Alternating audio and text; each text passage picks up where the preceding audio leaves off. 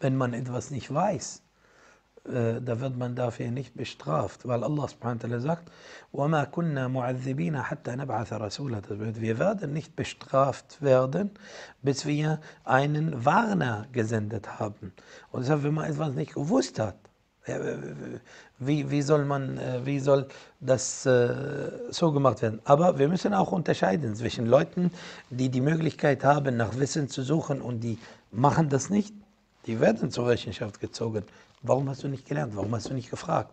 Und andere, die keine Möglichkeit haben. Das heißt zum Beispiel, jemand, überleg dir, jemand in irgendein Dorf in der Nähe in Brandenburg oder irgendein Dorf in, auf einem Berg, in einem Wald in Thüringen oder Sachsen-Anhalt oder äh, in Polen oder in Ukraine, der hat vom Islam nichts nicht gehört, der weiß gar nicht. Und der nimmt den Islam an.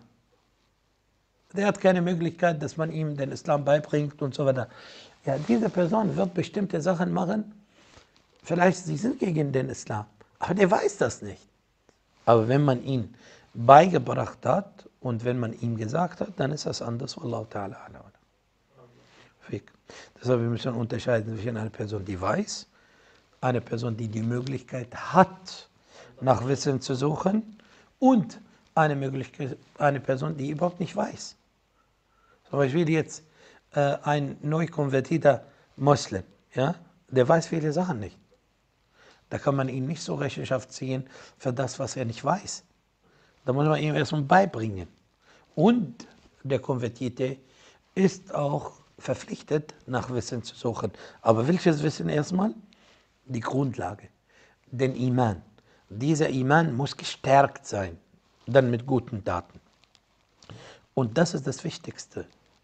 Viele von unseren Brüdern und Schwestern, die den Islam annehmen, die beschäftigen sich mit Themen, die auch von der Religion sind, aber die sind nicht die wichtigsten Themen. Da muss man erstmal die Grundlage schaffen.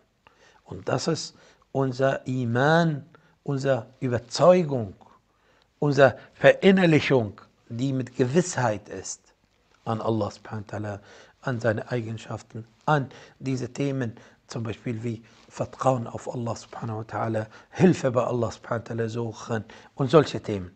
Und wenn man so weit ist, dann, das heißt auch nicht jetzt, dass man äh, so wie, wie, wie äh, Plan macht, von Donnerstag bis Mittwoch bis äh, Freitag das und von Freitag bis Samstag. Nein, aber das ist allgemein. Da kann man auch parallel andere Themen lernen. Wallahu ta'ala ala wa alam.